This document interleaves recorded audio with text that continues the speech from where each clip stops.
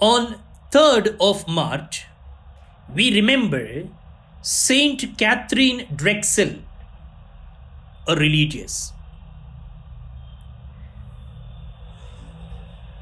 She was born on November 26, 1858 in US. Saint Katharine was the daughter of a wealthy Philadelphia banker.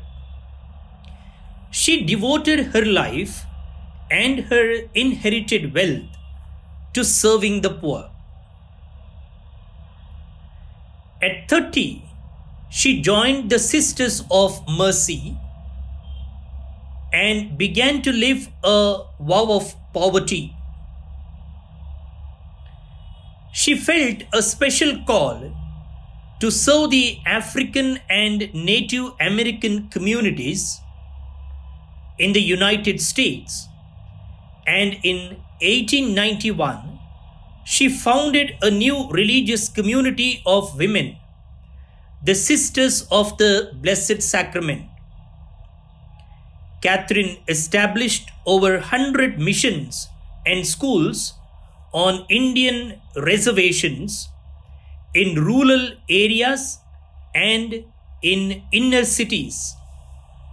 In 1915, she started a teachers' college that eventually became Xavier University of Louisiana the first and only predominantly African American Catholic university.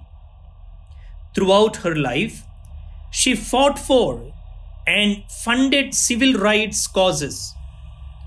Katharine was the second American born saint who died on March 3rd, 1955. She was canonized on October 1st, 2000, the Jubilee year. Saint Katharine Drexel, pray for us.